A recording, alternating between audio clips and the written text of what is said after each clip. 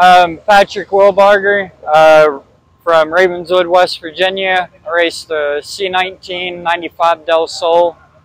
Uh, raced with uh, Roger Atkins and Josh Atkins racing team.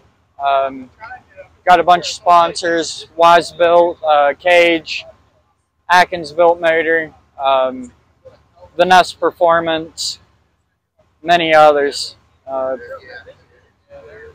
really just came here to have fun, see what I can do, and hang out with friends, and that's pretty much it. Uh, you've been to King Compact. How many have you been to? Uh, I've been to uh, three of them, starting at Atomic.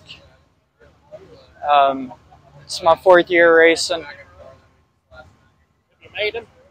Uh, nah, not yet.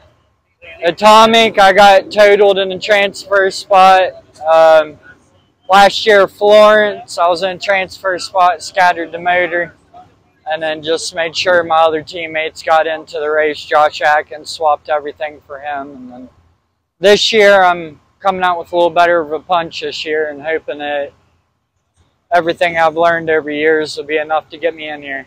There you go. All right. Good luck. Appreciate it.